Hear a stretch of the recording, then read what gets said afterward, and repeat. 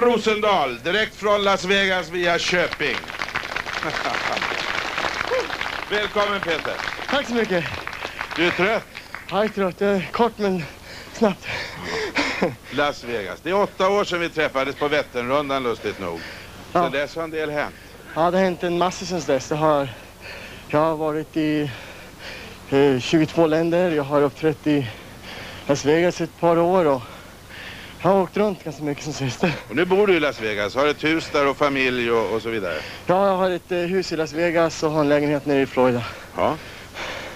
Hur ofta uppträder du i Las Vegas? Eh, jag uppträder där eh, tre gånger om dagen. Vi har, off, eh, eller vi har ledigt på onsdagar. Och eh, vi har övat där nu i tre år. Men nu så åker jag till Japan i juli för ett par månader, sen drar jag till Las Vegas igen. Vurpor, undrar alla här. Gör du några vurpor? Jag har gjort ett par vurpor nu. Jag har faktiskt eh, fullfallit baklänges ner för trappan en gång och bröt mina båda handleder. Och det ganska ont. Mm, det förstår jag. Ja, men jag var på scen dagen efter igen. Semester i Sverige, hur är det när man kommer ända bort ifrån den delen av världen i Amerika? Ja, det är lite annorlunda, men jag tror Köping är väldigt bra också. För jag har inte varit så mycket semester än, men det jag haft har varit jättebra. Ja. Det är kul att vara hemma med familjen igen.